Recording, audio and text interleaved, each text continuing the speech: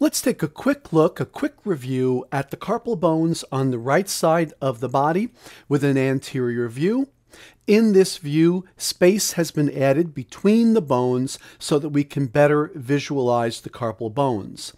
For context, proximal is up here, distal down here, lateral is here, and medial is over here.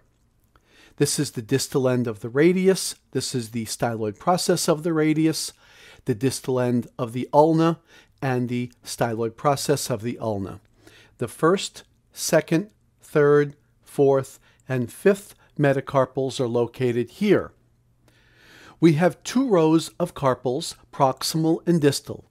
Scaphoid, lunate, triquetrum, and pisiform are in the proximal row. Trapezium, trapezoid, capitate, hamate are in the distal row.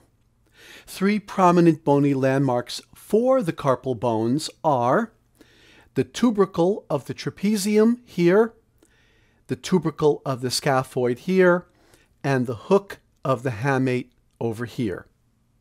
So this has been a quick review of the carpal bones with their prominent bony landmarks on the right side of the body with an anterior view. Now that we've reviewed the carpal bones and their prominent bony landmarks, let's quiz ourselves. Pause the screen and see how many of the carpal bones you can name. And now pause the screen and see how many of the prominent bony landmarks you can name.